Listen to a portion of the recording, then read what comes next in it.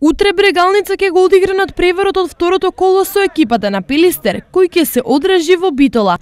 Сините на гостински терен ќе треба да дадат се од себе и дома да се вратат со три освоени бодови. Можност за победа штипската екипа има затоа што право на игра. Ова коло има и хрватот Ведран Муратовиќ, но сепак овој надпревар ќе биде тежок, затоа што поради повреда нема да играат Ангел Нацев и Дејан Лескаровски. Се со цел да се покажат во најдобро светло, сините секојдневно тренираат и подготвени утре во 17:30 часот ќе го започнат над.